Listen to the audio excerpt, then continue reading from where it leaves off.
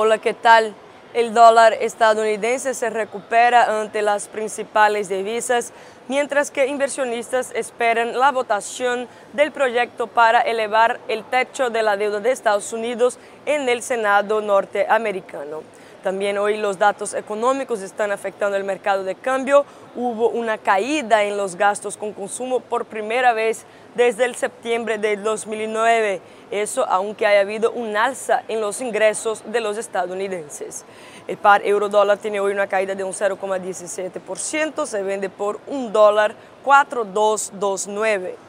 El par dólar yen tiene hoy una caída de un 0,19%, se negocia en estos instantes por 77,2350 yenes.